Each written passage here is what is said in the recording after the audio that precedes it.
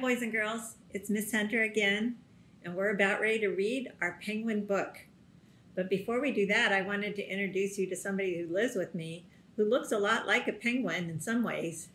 This is Oreo. Oreo is not a penguin.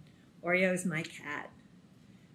Why do you think we called him Oreo? What does he look like to you? okay, Oreo, say hi to the boys and girls at Great Hearts. Say hi. All right, here's our book on penguins. I have eight questions for you to consider prior to us getting started. The first question is Where on earth do penguins actually live? What I'd like you to do is say your answers out loud. Where do you think they live? I haven't seen any living here in Arizona. Hmm, wonder where they live. Say your answer out loud, but say it nice and softly. We want to use inside quiet voices because maybe our parents are working. So, where do penguins live? The second question is Do you think penguins are actually birds or are they fish? So, look at this guy. What do you think he is? Is he a bird or is he a fish? Now, the next question is keep looking at this guy. Do you think penguins fly or swim? Or maybe they do both. What do you think? Okay, tell me what your answer is. The next question is, is what do these cute little guys eat? What do penguins eat? Hmm, looks like they live in the snow. What do they eat? The next question is, is how do they stay warm? What do they do to stay warm? I guess we'll have to wait and see in this non-fictional book, unless you know. The next question is, the sixth question is, is do penguins lay eggs or how do they have their babies? Hmm. Guess we'll have to wait and learn about that too. And speaking of babies, the next question is, is what do baby penguins eat? Do they eat the same thing as their mom and dad? Hmm. Guess we'll have to wait and see. And the last question is, is do you think these cute little guys, penguins, are endangered? Read a nonfiction book about penguins, and it's written and illustrated by Gail Gibbons. But before I read the book, I want to play for you some sounds.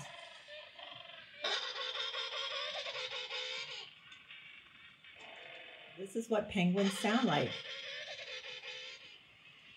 They don't sound a lot like birds, do they? They sound more like trumpets. So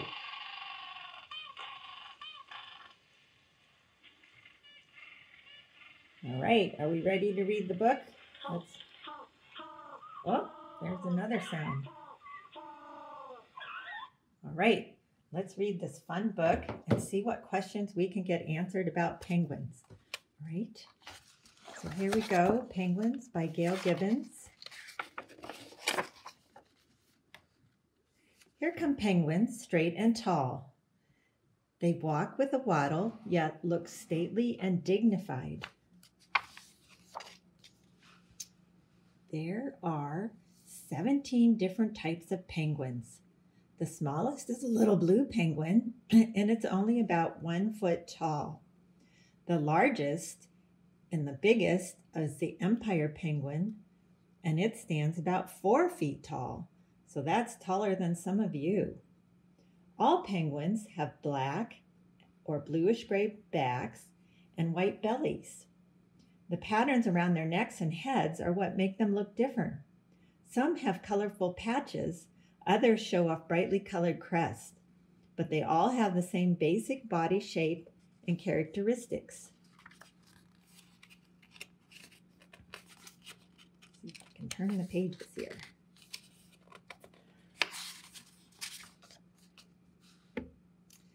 All penguins are found in the southern hemisphere. Now, what does that really mean? Look over here at the southern hemisphere. Show you this. So here's the Earth. Here's the equator around the middle of the Earth. So all penguins are in the southern part, below the equator. The United States is up here. So we don't have penguins living here. So they're down in the southern hemisphere. So that answers that question is where do penguins live? Penguins are birds. So they're not They're not uh, fish, they're birds. But they lost their ability to fly millions of years ago. Over time, they began to spend a lot of time hunting for food in frigid waters. Their wings changed into powerful, rigid flippers for swimming. Penguins have sleek, sleek, smooth bodies that glide easily through the water. They're excellent swimmers and divers. Larger ones can swim faster than 25 miles per hour. The empire penguin can dive deeper than any other bird at about 1,500 feet. Groups of penguins may stay at sea for, sea for weeks at a time. They leap in graceful arcs through the water to grab breaths of air. Penguins feed underwater on krill, fish, and other sea creatures. Their natural enemies are fur and leopard seals, sea lions, sharks, and killer whales. So they eat on krill, which is like little tiny shrimp creatures. When penguins want to leave the water, they can leap up as much as six feet onto the rocky shore or iceberg. They climb rocks easily, hopping from one to another. Sometimes penguins speed over the snow and ice by dropping on their bellies, like this one, and sliding. they look like they have a lot of fun sliding. A penguin may have many feathers that are small and stiff. They form a warm and waterproof covering in really cold places, penguins have ex- an extra layer of long, downy feathers underneath. They also have thick layers of fat to keep them warm. Once a year, many penguins come together to form colonies called rookeries. Everybody say that word, rookeries. That's a pretty funny word. It is time for the penguins to mate and raise their young. At this time, they make loud croaking and trumpeting sounds. Most of the time, penguins are quiet, but not when they're mating. What a noisy place a rookery is with all the harsh penguin calls. There can be hundreds and sometimes thousands of penguins in a rookery. They have no trouble finding their mates. While courting, they chase each other. Sometimes they hold their wings away from their bodies and hold their beaks up high. Usually, the same pair mates and raises its young together.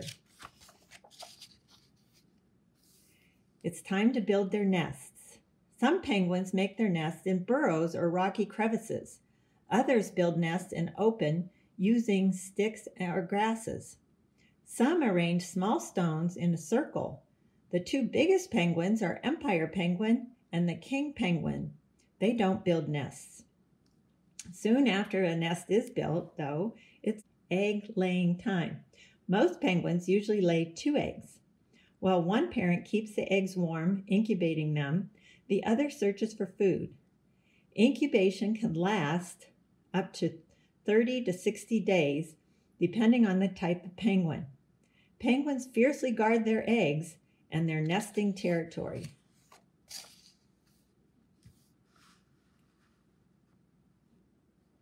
King penguins and emperor penguins lay only one egg. The female quickly passes her egg over to the male and he carries it on the egg on top of his feet. The egg is kept warm by a flap on his belly called a brood pouch. He carefully waddles around short distances, dropping the egg. During incubation time, the female swims out to sea to feed. The male emperor gathers together in the cold, dark polar winter. The temperature can get as low as minus 60 degrees Fahrenheit. They protect themselves by huddling close together, constantly moving from the inside to the outside of the group and back to the inside to stay warm. See the group here? And they go in the inside and then back to the outside. During this time, they don't eat. They fast living off of stored body fat and can lose up to 45% of their body weight. After about 65 days, the egg hatches. The female returns around this time and it is her turn to care for the chick. She tucks it under her brood pouch to keep it warm. Then the male emperor is free to swim out to sea to feed. The chick weighs about 11 ounces and is covered with gray, soft down. The mother has food in her belly, and when the chick is hungry, the mother throws up or regurgitates a meal for it. So that answers the question about what baby penguins eat. Okay, when the father returns, both parents take turns feeding and keeping the chick warm. The chick grows. Once, when it's about eight weeks old, it weighs around four pounds. Now the chick is too big to stay under the parents' brood pouches. The chicks gather into groups called crochets. They huddle together to stay warm. When the sun shines, they scurry about, getting stronger and practicing their balance.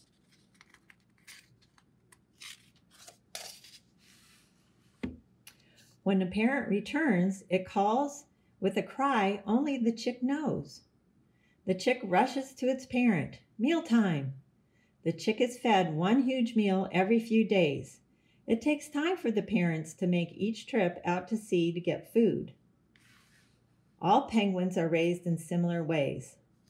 When the chicks are 3 to 10 months old, they begin to lose their gray down and grow adult feathers. They're now called fledglings.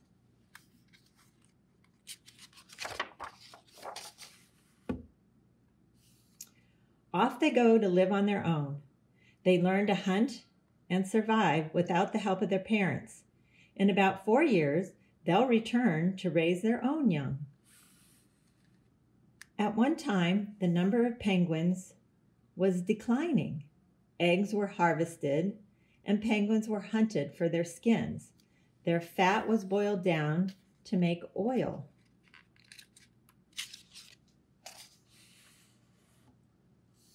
Today, penguins are in danger. Sometimes oil spills coat their feathers. Overfishing reduces their food supply. They get tangled up in fishing nets, and tourists they can do harm to colonies of penguins by disturbing them. Now there are laws to help protect them. People work together to help penguins survive in our modern world. Some areas have been named penguin sanctuaries.